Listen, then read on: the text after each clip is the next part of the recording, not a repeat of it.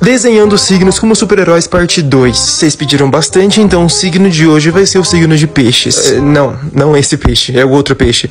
Isso, esse aí mesmo. Pra elaborar bem o personagem do signo de peixes, eu usei de três estereótipos mais famosos. O primeiro é a fofura. Isso mesmo, a fofura. Dizem que piscianos são fofos, então eu fiz uma criancinha. Isso mesmo. O segundo estereótipo é que eles vivem no mundo da lua. Então eu fiz a criança em cima de um OVNI. Bem universo e afins.